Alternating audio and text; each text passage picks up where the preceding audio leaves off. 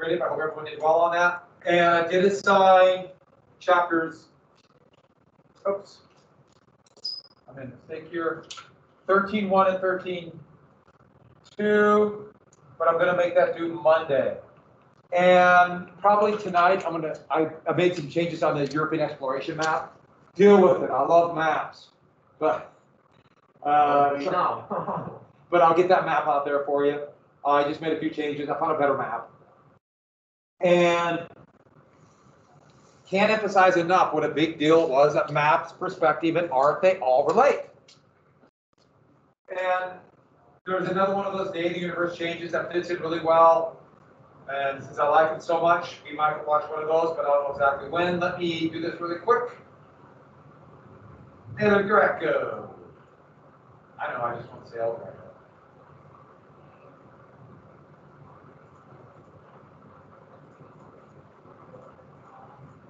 Give me one sec. If we have time at the end of the year, we should go through and watch all the decisive battles videos. I don't, I, I, I. I think they're pretty fun.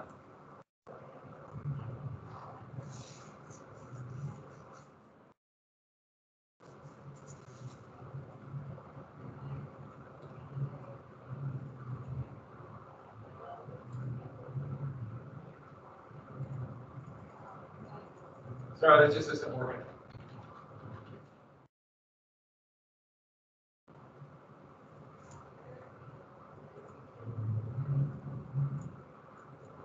Hey, you know a lot about beer. I do. So, I live out in the valley, and this weekend I looked outside.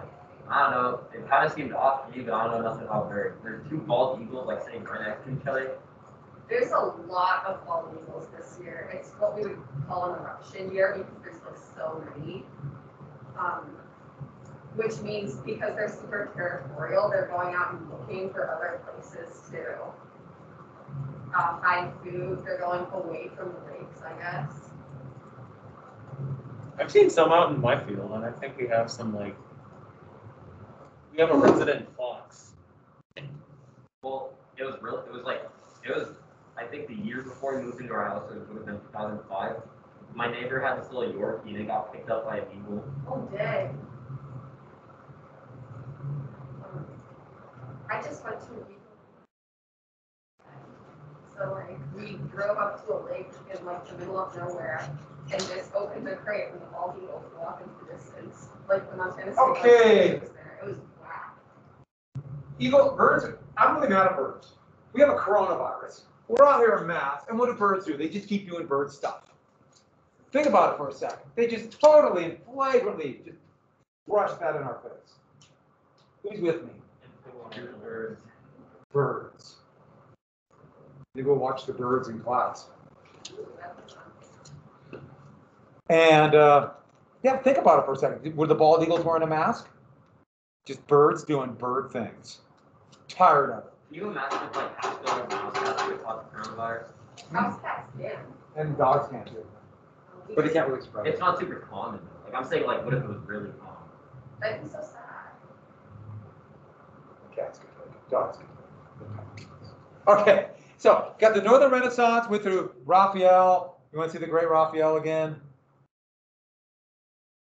You know what, You gotta admit, that is just amazing. That is so cool, the School of Athens. Oh, and then one more time with the uh, Chubby Little Angels.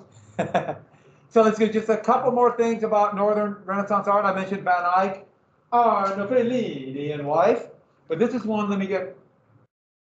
Um, you see the mirror back here? See it? There's the back of them, and then in front, it's hard to see there. He drew himself into the mirror. And that kind of detail is unheard of in medieval art. So, uh, you don't need no Weyden, but I just put him down. Van der Weyden was another one of these Dutch artists. The reason I put him in there, though, is look how art had changed.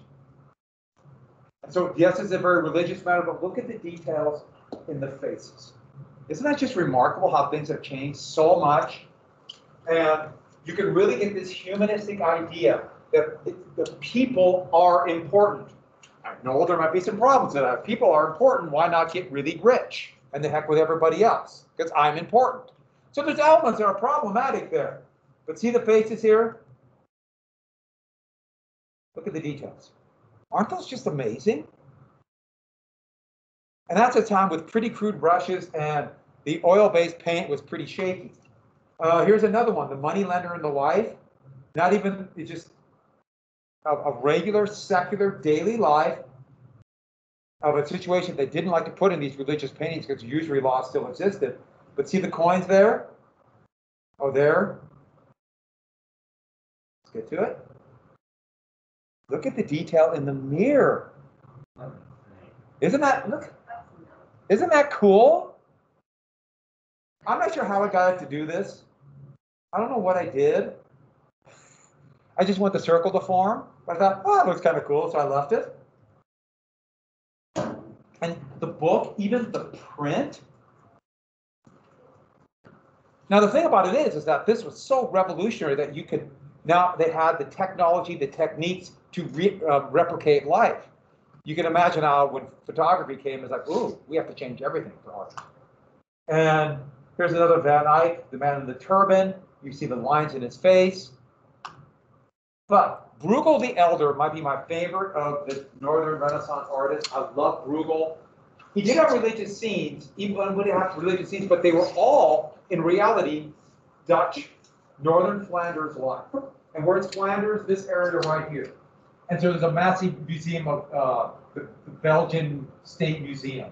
And it basically has a whole wing of just Bruegel the Elder, and Bruegel the Younger. You might guess that's his son. But these are wonderful paintings of Dutch life or Flanders life with all these little parables and stories and all the details of people in here. And um, every single one of these has a little example of Dutch, um, of a Dutch parable. Uh, and but here's this Tower of Babel, and yes, he shows the tower, but in behind all these symbols of Dutch life. Here's another one, the Mad Meg, and um, this is the destruction of Sodom and Gomorrah, but he puts it as parts of the wars that are going on in the Netherlands. I love the beggars. Not are, you know, the begging on the side. It was pretty common to wear a hat like that when you're begging. I love the blind leading the blind. The parable of it, off into a cliff. Some of these are vaguely disturbing. Oh, yeah. Here is uh, another one of Dutch life, and these are all, I have um, been home with all the, um, it says everything they went through, or every parable it, it says. And some, um, you know, pie in the sky. And there's are pies up there. But uh, it's also, um, it's very earthy, um, you know, showing real life, uh, drowning the baby with the bathwater. And uh, here, that's just a, an outhouse. You can guess what's sticking out there. It's kind of funny. And I, I, okay, I like Bruegel, but his winter scenes are amazing. And harvest scenes, children's games. I think you get the point. This one is just beautiful. And I love this with the ice skaters out there. And this this was done in 1550. Yeah. So that you have Bruegel the Elder and Bruegel the Younger. Yes. Very imaginative. Hey, your imagination goes on the plate. yeah. And I love the scenes you have like a, uh, uh, scenes from um, Bethlehem and you know, the Judgment of Christ, and it's in the, a winter scene in Belgium. you know, yeah. How large are these pieces? Oh, they're huge. We cover half of this wall, three quarters of this wall. Really? Yeah, the School of Athens would be, imagine about the whole wall and maybe five or six feet higher. That's how the School of Athens. It's, that's one that you're in this museum, you're kind of, you're walking, you made this, you're like, that's literally what it feels like, yeah. So in the in that School of Athens picture, you have the art around it, right? Mhm. Is that part of the painting, or Yes. is that Part of the painting? okay? I, I couldn't tell if that was like the what they had painted it on. Oh, sure, like it was, like this was under the, yeah. Yeah. How would they have painted Fading like ladders and stuff? Oh, yeah. That that is crazy. we're like painting down, but we wouldn't want to like walk on the painting. Well, you know, the, uh, Michelangelo had this elaborate set of scaffoldings that he designed to do the Sistine Chapel. It's just amazing, I guess. I'm not an expert on scaffolding, but I do. Who is an expert on scaffolding? Anybody? Really? Uh, like the peasant wedding. But another one named, okay, I cannot pronounce this name. Anybody? Hieronymus that's probably it, but Bosch.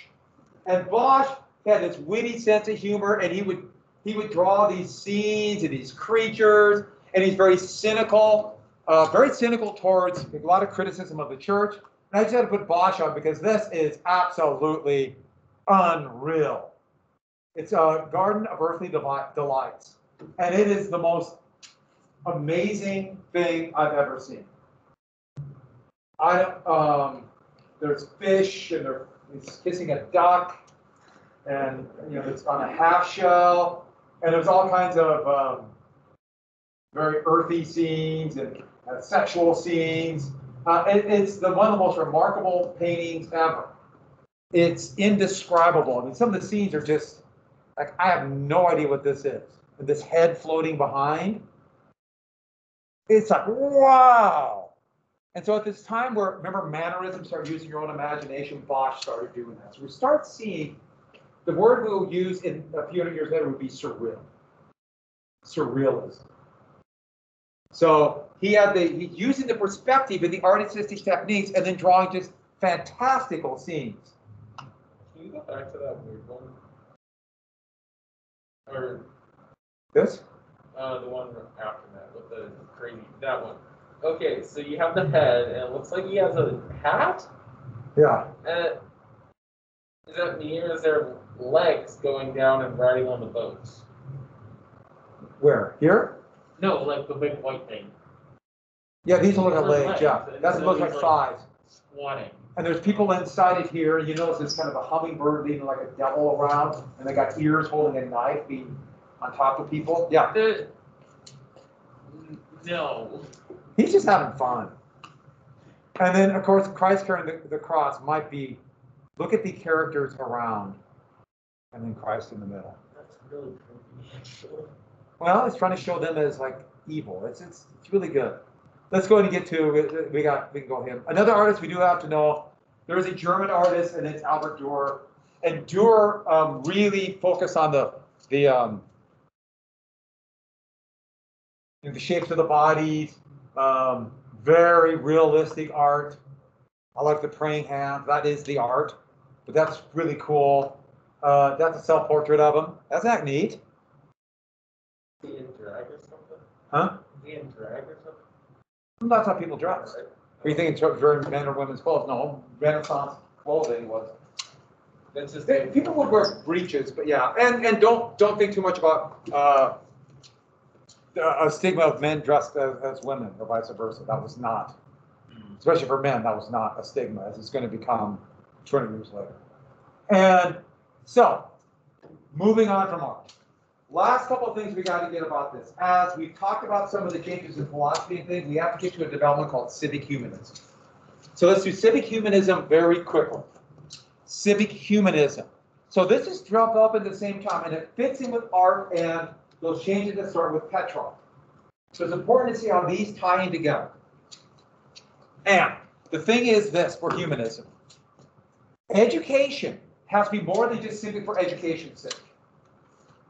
It must be to um, for individual advancement or virtue. One of the things that was happening were, and um, a lot of criticism of the, and I'll get to it more who wrote it in a second, but criticism of these brand new universities are people go there to learn these great things and then they just stay there and teach that to other people who are going to stay there and teach that. And they should be promoting a better society. So public service should be the key. This is a little like uh, the um, the Stoics in ancient Greek philosophy. And so this goes back to the Greeks. And I mentioned these once before, but Plato talked about philosopher kings. Socrates said we all have a duty to society. Yes, he also didn't want people to tell him what to do. And Plato wanted uh, philosopher kings and um, armies made up of blubber. So there's some things they kind of ignored with that. But lastly, so the whole concept was you shouldn't go into deep into, or it should not be emphasized this scholarship and learning and only just trying to learn the, uh, every detail to go teach to other people. But practical politics and politics, it's hard not to say politics in a country like this, where we just think, think purely of winning and losing elections. That's actually the least important part of politics. Politics are the interaction of people and how things get done. That's politics. We get bogged down on who's going to win an election, and that's one of the real problems in the United States today. Uh, both political parties, one especially, sees it like a team effort, us against them. But no, politics are how action, the interaction and how things are done. By the way, if you want to be a dictator, you have people worried about the horse race element of politics and not how things get done. Think about it for a second. Look at this, look at this. Okay, I'm gonna do what I want. So the man who laid this out, this is Bruni, and this picture just kind of makes him look creepy, so I, I took that one. There's actually a picture where he looked good, but that's not the creepy one. And Bruni wrote on civic humanism.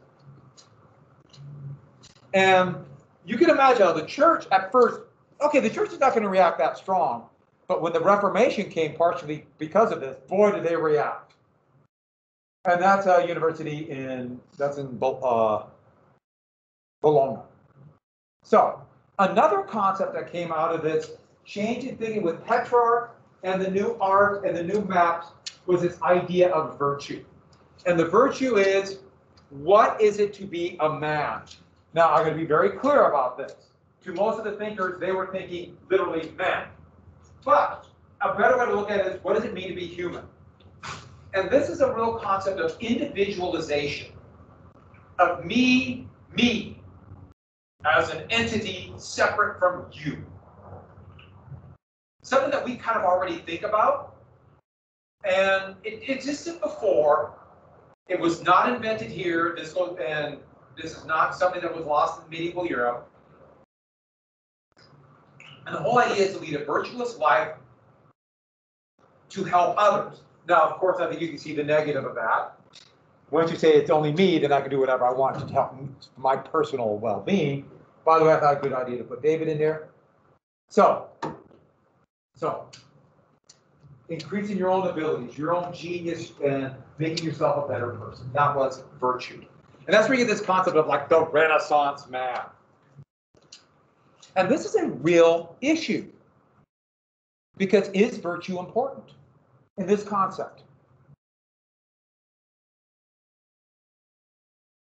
Because if virtue is important to make yourself a better person and the quality of a man that is virtuous, then you have to be, do you have to learn and function in society beyond personal gain.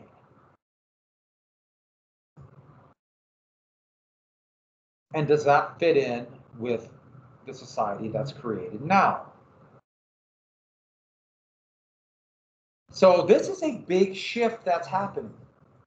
So uh, we're going to skip, let's skip right here and get right to Machiavelli. The last person we got to get to in this era of this uh, Renaissance is Machiavelli. And he would be best known for writing a book called The Prince, which is really hard to read. I had to read it for class, a political science class. I like college. College. Animal House, baby. Of course, that's back when it's almost weird to think about it, when college, especially uh, public schools, were almost basically free. And that's now completely gone. And that was a conscious decision to make you guys pay more.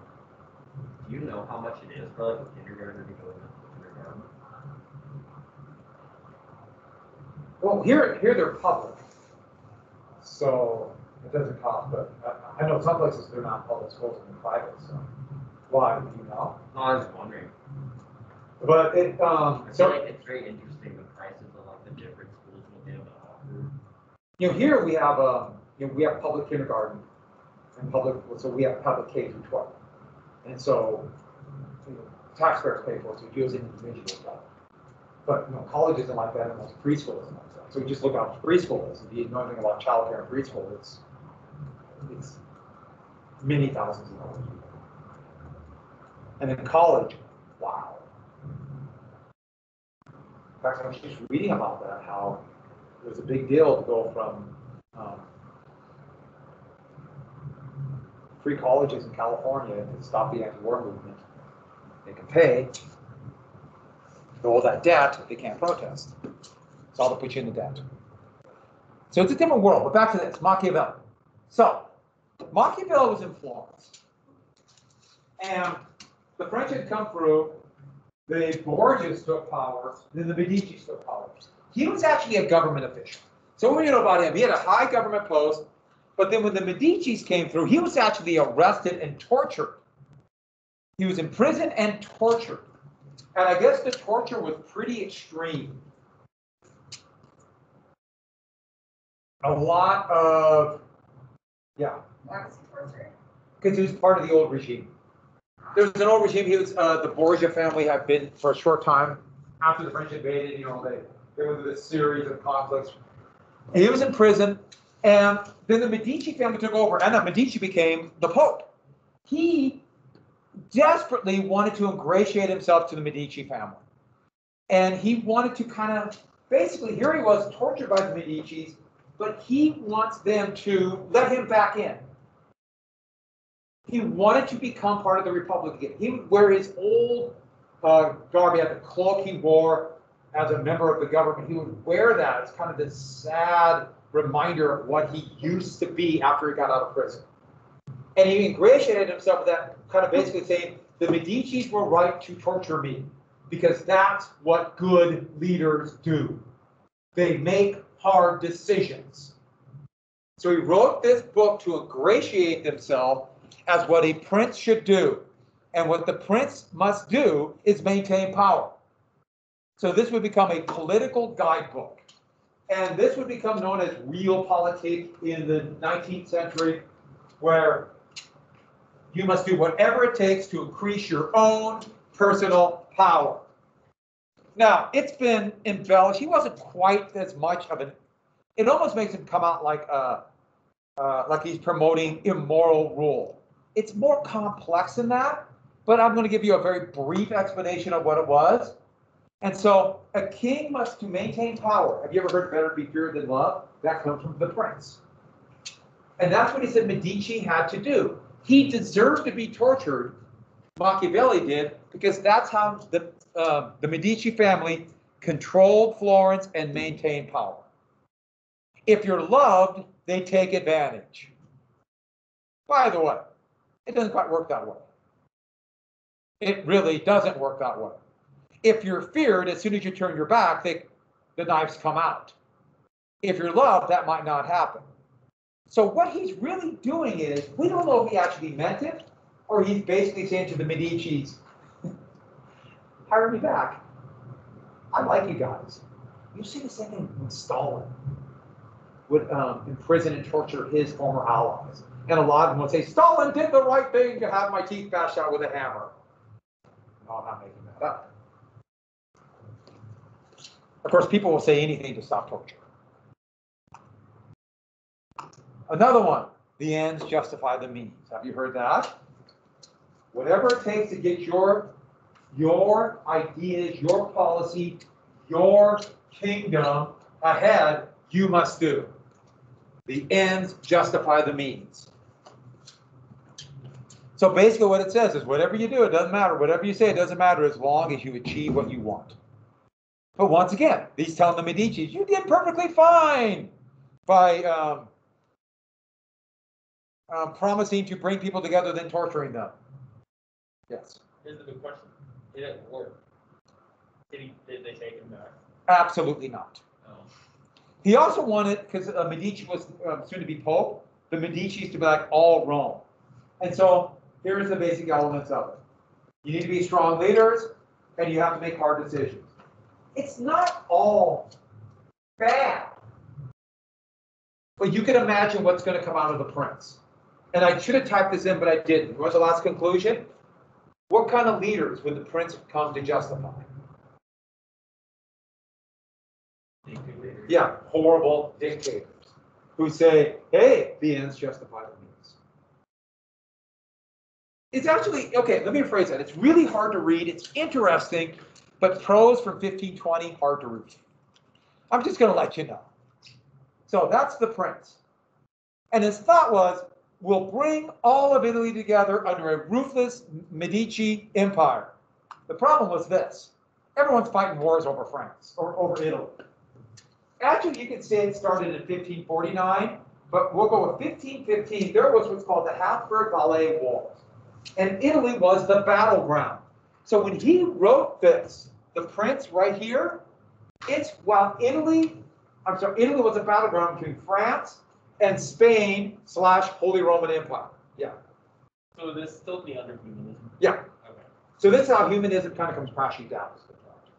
So they're talking about civic good and talking about these things, but at the same time, what's really happening? Bigger countries are seeing there's Italy's rich, let's get it. Does that make sense? So that up and down the peninsula, they're raging and fighting a war. Italy and then Rome is kind of the prize. The French took it and got a pope favorable to them. The Pope tried to show independence and then the Spanish took it. Heck, France even unified with the Muslim Ottoman Empire to attack the Habsburgs, which at a time with such strong religious feelings as the Crusades had just happened, this is like quite the move.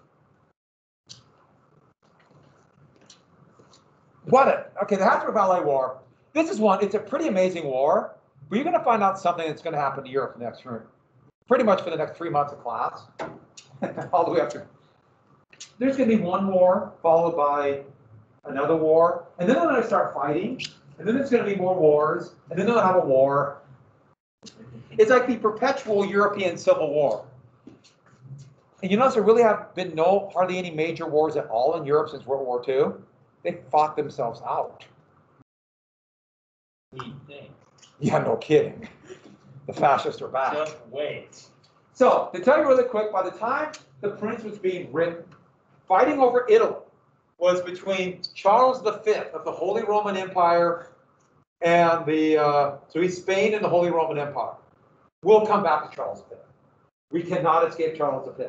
By the way, this is his chin. This is what we call inbreeding. And just wait.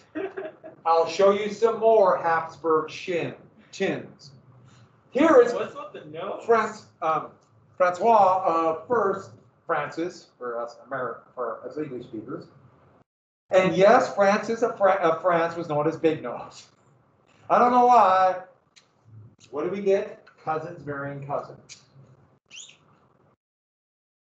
The Industrial Revolution was a big deal. Part of the reason was they had trains where you leave your town and not marry your cousin. Inbreeding went down. Write that down. Don't marry your cousin. Next. And in the middle is the Pope, who's the Medici. And so here's Machiavelli thinking, okay, what with the Medici Pope, this could be an avenue for the Medici to take over Italy. They'll look to me and say, wow, he helped us, and Machiavelli would get a big position. Well, he's in the middle. The French had taken Rome, or threatened to take Rome, and, and Clement and the Pope him, Julius II, the guy who did the Sistine Chapel, got Michelangelo, the warrior Pope, who the French defeated. They had to give concessions. Clement had to give concessions to both sides. They're really in the middle. So this war is raging across Italy.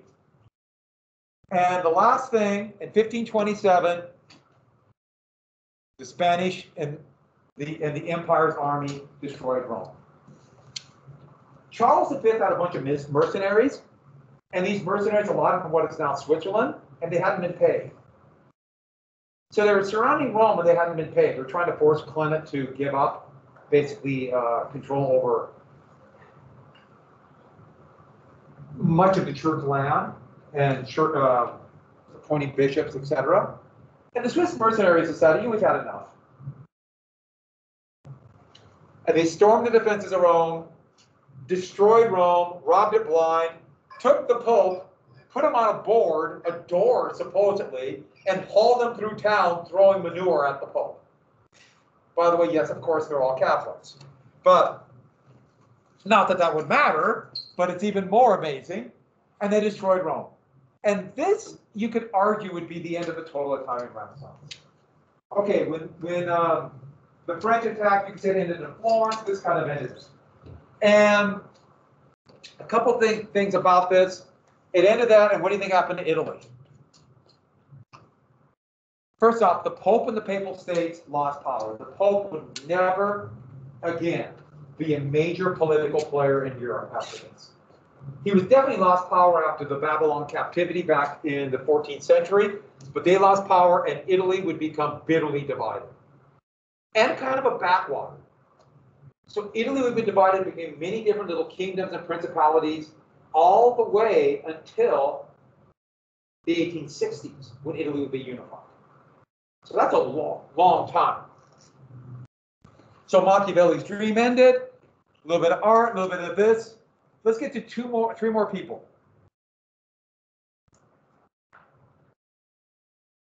What year did the Habsburgs start? The War, was it fifteen fifteen? I put down 1515, even though arguably you could say 1549. And the war, there's basically going to be four Habsburg Valois wars. So you don't need to know all the details about this. Off and on again, this would fight. I'll come back to this war again. So don't worry about this. There'll be two big treaties at Turin and Nice. Both sides had massive death. Arguably the French lost, but not quite.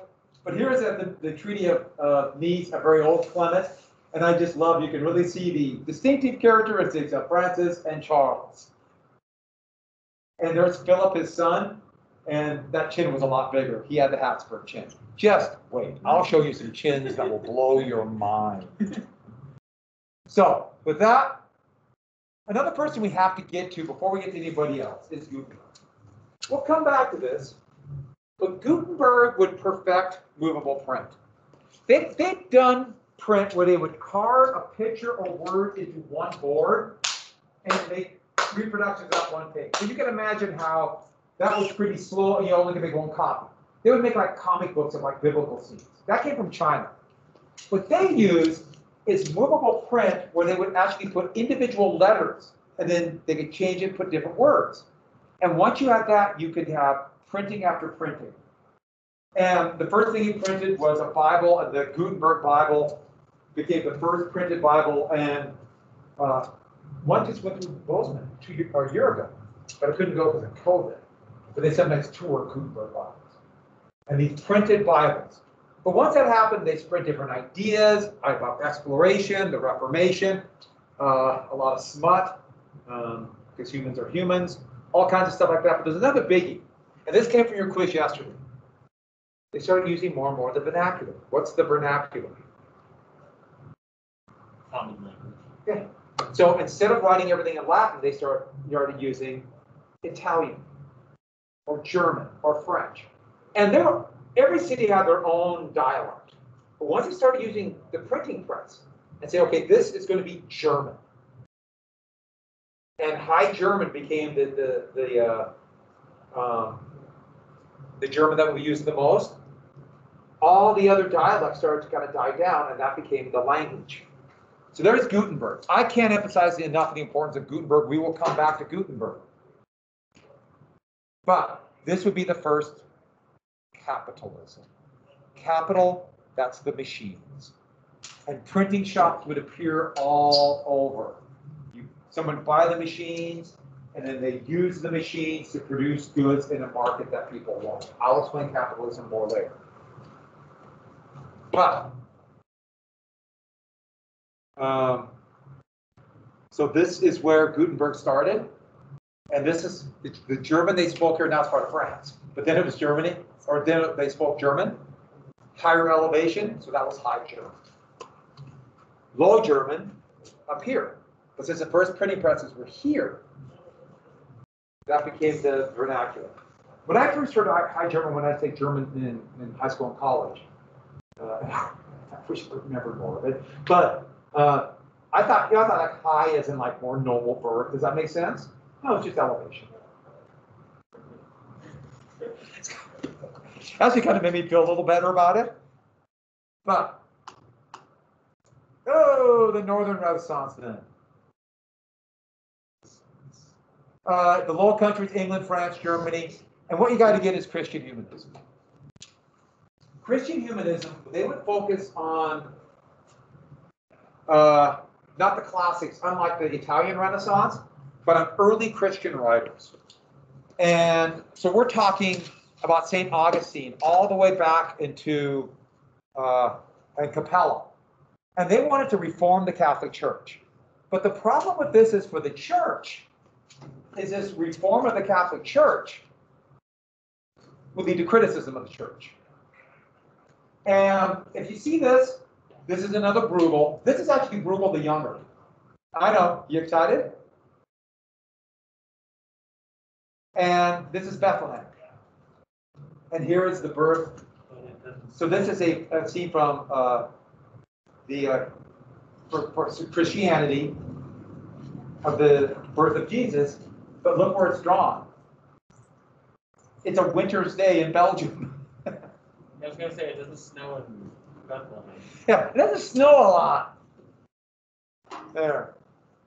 So, okay, we're not gonna go, um, I'll come back to that. But, that's what we have the two different types of this. We'll come back to Erasmus I, I do hit with the uh, with the. Uh, what's the word I'm looking for? Help me. Reformation. So, everyone write down European exploration and conquest. Because at the same time, because of the new kind of thinking of the Renaissance, we have exploration. Yeah. Two questions. What were the two things under Christian humanism? What part do you mean? Like Christian humanism, is it focused on writers? Yeah, focus on early Christian writers and they, and they began, and it was, they wanted to reform the church. So, um, focus on early Christian writers.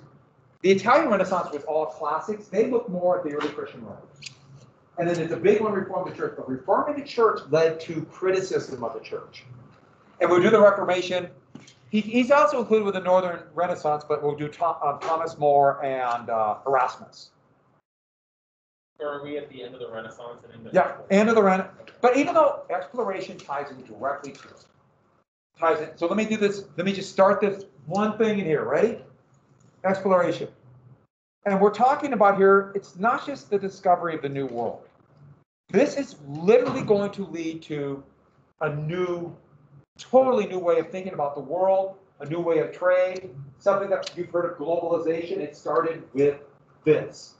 The world completely changed with Renaissance thinking. And that's the Spanish. And this is a very stylized picture of the Spanish in on uh, Arawak Island. And so that's supposed to be Columbus, a priest. That's supposed to be American Indian, and of course flamingos. So one thing I do have to say, the Chinese almost certainly made it to the New World by the Pacific. And the reason I'm putting this one in here is because this was at a time where there was more spread of information. And so somewhere before, uh, this is Admiral Genji, he was, this is his lifespan, so somewhere around 1420, with his massive ships, they sailed and dominated the Indian Ocean. They went all the way to Madagascar, all the way to South Africa, down to probably New Guinea, all of what um, is now Indonesia, and almost certainly they made it all the way to the Sandwich Islands, maybe even Samoa. What are the Sandwich Islands? What the British call the Hawaiian, what we call the Hawaiian Islands today. And there's good evidence they made it all the way to the New um, North America. And the reason we're mentioning him is first off, look at their massive um, ships that they would bring the supply. Look how much bigger they were than um, this is the Santa Maria, the Saint Maria, one of Columbus's ships. Look at the size of this thing. Yeah, You know how big our like modern ships are? massive, yeah. 150, 200,000 tons, yeah. These, Well, I mean, these, like, those must have been like a sight to behold, truly. yeah, it was like seeing one, of one of these ships, and when the Portuguese saw these ships, Chinese ships trading in like early 1500s, they're just, oh my gosh. But they weren't very armed. They weren't armed. And so the point is, he sailed all over here. In fact, he went to India, and that's where the Portuguese first landed. So the Chinese were trading all through this area. So the point is, there's already elements of globalization. The Chinese are setting up trade facilities, and then the Europeans would come in and fit. The problem the Chinese had is, um, they were having their own problems, and they're here. So their point of view is, yeah, it's great to trade here, but we're great. We don't need to worry about that stuff. Not realizing what's coming. So there's already a trade route happening, and that's the known world in 1492. By the way, that's a pretty good map, isn't it? What is that?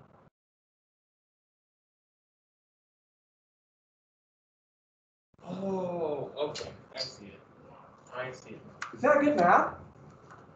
I thought Toscanelli's map. I thought the blue was land. No. And so they didn't know what was here, but they knew something was here. But can you see it on the map? Can you see it? Look at the map, everyone.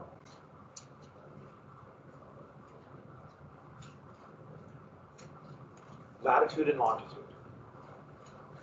They gridded the map. And the point is this. Once you know you have latitude and longitude, even if you go to this area, which was completely unknown, if you know the latitude, you know where you're at. By the way, they all thought the world was round. Of course they did. They were really smart. Nobody thought the world was flat. Nobody thought the world was flat. So they were more intelligent than us. Yes. Oh yeah. People back then were a heck of a lot smarter than us. In most practical ways, they were. Because they had to do everything for themselves. Yeah, everyone. But they just took this map and went, "Doop." And now we have computers. so we don't have to think. Yeah. So we get dumb. Dumbo. Dumba. So I'm 99% sure I saw a. Uh, oh my God! Oh my goodness! I'm micro. A rough-legged hawk. Yeah, they're really fun right now. They And come down from. I've not seen one, and I've seen now a couple of them. Uh, both dark morph and light morph are here right now. So very briefly, I talked with Mr. Kelly. They're really cool. Talk about election. Have a good week or day. Wait, yeah. I will see you tomorrow. Be ready for a map. I would still want to get, uh, Mr. Zarnowski to Yeah, a we're day to Russian opposition leaders. We're going to talk about Alexei Navalny, and I'm trying to get him to talk about Alexander Litvinenko. um, You can't talk about Alexei Navalny without talking about Alexander Lukashenko. Also Anna Politkovskaya. Yes, thank you. But anyway, that's, that's what's new. Sounds good. One o'clock. That's all. Rough-legged hawk. I saw one over Spring Meadow, but the one that surprised me was there's one flying over near where I live in town. Huh. And you And I thought, God, it's supposed to be, because they're not, they're not really, you know, red tails were. Red tails stay here all year round. And they're over town. Rough-legged hawks are migratory and come down from the Arctic Circle. It really surprised me to see one over Because town. we went on Cold Side Road, we saw six western meadowlarks out on the frontage road Now, you Um, told me that you saw Western Meadowlarks. last weekend. Wow, on what road? Frontage Road, sort of by, um,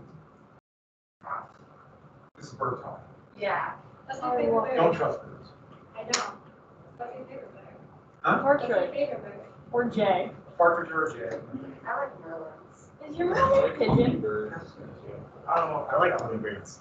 I think By the way, that would be a real sign of cruelty of my, my mom. Not a color. Midget target. Like, it's not like an I really think it's- Jays. And no, and you know what my mom should know? What do you two want? It's like the least common. You can identify, Maybe like purple. Yeah. it's you. It's blue. okay, everybody. I mean, I guess blue. Blue is pretty, yeah, but like for animal. Yeah.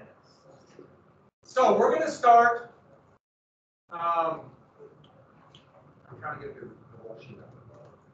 We're gonna start invasion of the body snatchers. You're gonna do, fill out a little worksheet.